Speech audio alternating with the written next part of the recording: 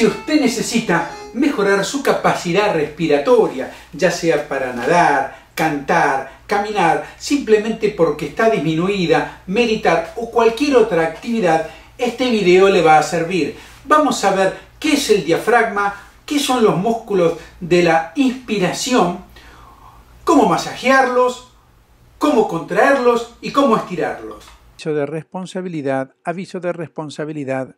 Si usted quiere estar más sano, más energético, desbloquear sus articulaciones, hacerle un apropiado mantenimiento a las articulaciones, yo le recomiendo que baje mi guía de vida. Les dejo el enlace a continuación. Sígame en el Facebook, sígame en YouTube. Le recuerdo que se suscriba al canal de YouTube donde va a encontrar valiosa información y apriete la campanita para recibir las notificaciones de los videos que salen todos los lunes. ¿Qué son los músculos de la inspiración? Bien, acá tenemos, y le, pusimos a Jerry, este es el diafragma. ¿sí? El diafragma, como lo he aclarado en mis transmisiones en vivo, y acá les dejo el enlace, divide el cuerpo en dos mitades la parte del mediastino o parte inferior donde están las vísceras y la parte superior donde está la caja torácica y dentro de la caja torácica el pulmón y el corazón. Como ustedes ven, el diafragma para los vecinos de abajo es un techo como en un edificio y para los vecinos de arriba es un piso. O sea que si estos hacen mucho ruido molestan a los de abajo y viceversa. Yo, esto es una representación que puse acá, ya que el diafragma cubre todo. Ahora hay un pequeño detalle.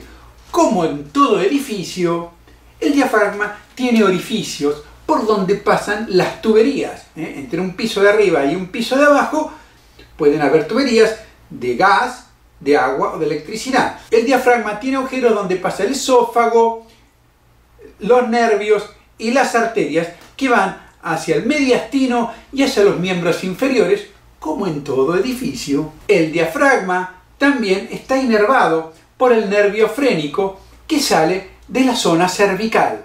O sea que un problema cervical puede producir una alteración en el diafragma. El diafragma también, y lo puse acá en una forma muy sencilla, está agarrado de las vértebras. ¿eh? O sea que va desde las vértebras, desde la columna, hacia las costillas ¿eh? y toda esta parte está cubierta por el diafragma en su parte más interior. ¿Qué otra cosa tenemos acá? Los músculos intercostales externos. Entre costilla y costilla hay un músculo y dentro de la costilla, ahí adentro, hay un nervio. O sea que cada costilla tiene su nervio y su músculo intercostal externo que es un músculo de la inspiración, al igual que el diafragma. ¿Cómo funciona el diafragma? El diafragma, y lo vamos a mostrar, cuando se contrae, aplasta las vísceras y expande la caja torácica. Pero además los intercostales, cada vez que se comprimen, siguen expandiendo la caja torácica. Y también se le suman los escalenos que los mencioné en el video anterior y acá les dejo el enlace.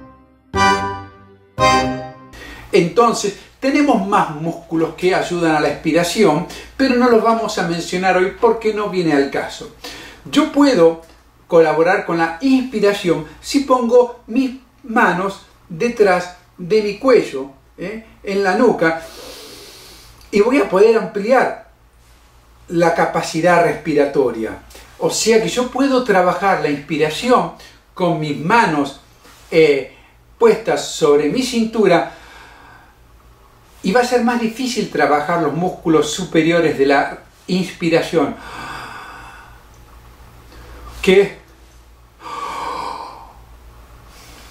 Vamos a notar que hay una diferencia.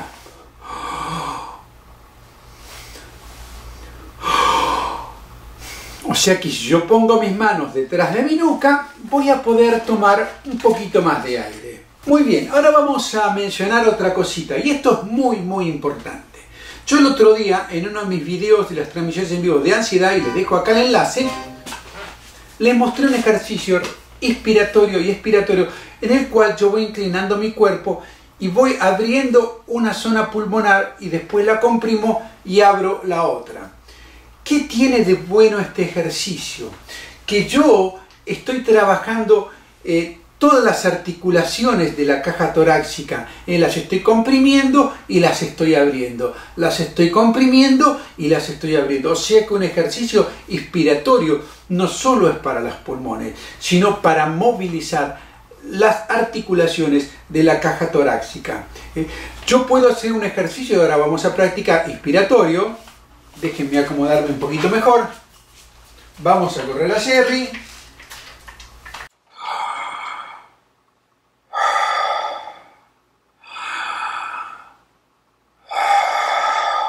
¿Sí? En el cual yo estoy expandiendo mi caja torácica, pero no estoy tanto comprimiendo las costillas. Si yo hago esto,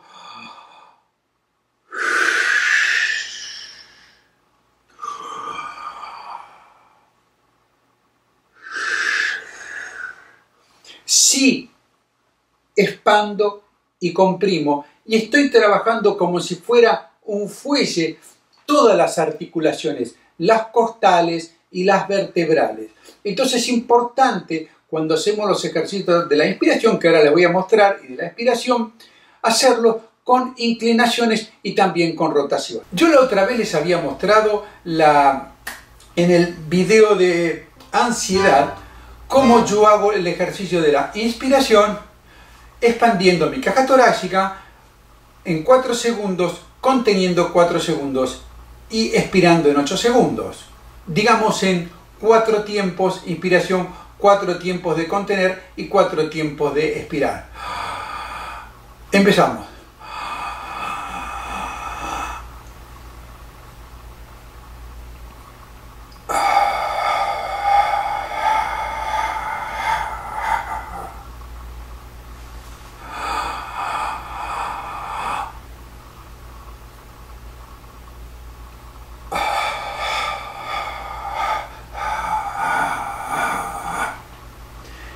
Bien, hay muchas variaciones para estos ejercicios, como por ejemplo el de contraer y, enviar todo el aire hacia un pulmón.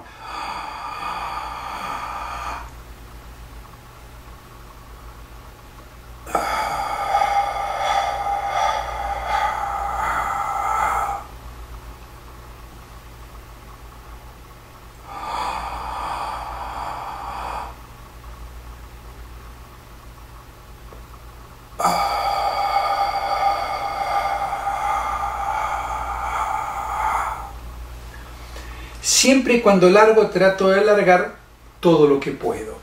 Recordemos que estos ejercicios servían para bajar los niveles de ansiedad, no solo para aumentar la capacidad respiratoria, sino también para bajar los niveles de ansiedad e ir del simpático al parasimpático o del yang al yin. Si le ha quedado alguna duda, póngalo en los comentarios de abajo para que yo pueda recibir su duda y aclararlas tal vez más adelante en otro video. Y si le ha gustado el video, ponga un me gusta. Y recuerden compartir nuestros videos con aquellos que los necesitan. ¿Y todo esto dónde? En Quienes Salud TV, donde el movimiento es salud y la salud es vida.